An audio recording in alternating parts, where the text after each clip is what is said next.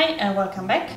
Today I actually wanted to make another recipe but since we have an emergency in our garden, we have a lot of plums, I decided to show you a plum cake that I've been making ever since my childhood.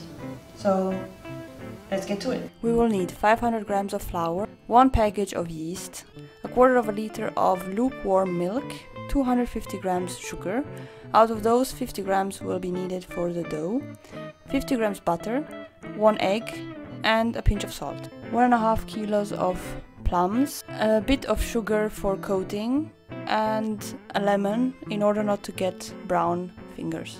For the sprinkles, we will use the 200 grams of sugar that we just mentioned, 250 grams of butter, 200 grams of flour, and a teaspoon of baking powder. First, we mix the yeast in the lukewarm milk and add a teaspoon of sugar to activate the yeast.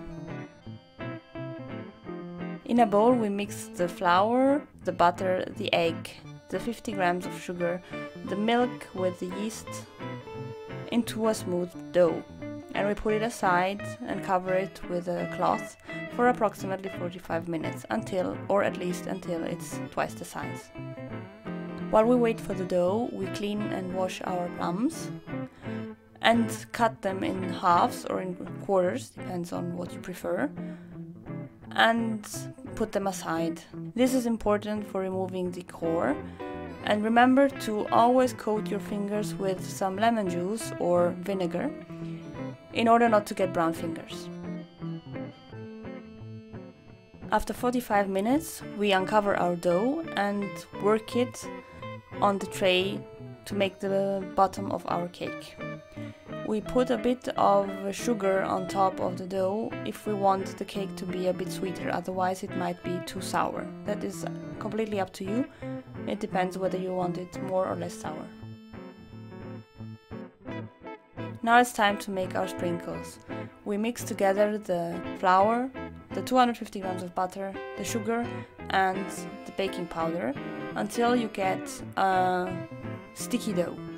When I was a kid, I usually preferred eating only the sprinkles, and I had a phase where I did not eat either the plums nor the bottom of the cake. I only picked out the sprinkles. Now we put our plums on top of our bottom. We have a lot of plums, so we will have a lot of filling on our cake. On top of the plums, we place the sprinkles. That is also up to you how many you like. Since I have an addiction to sprinkles, I like my cake covered in sprinkles.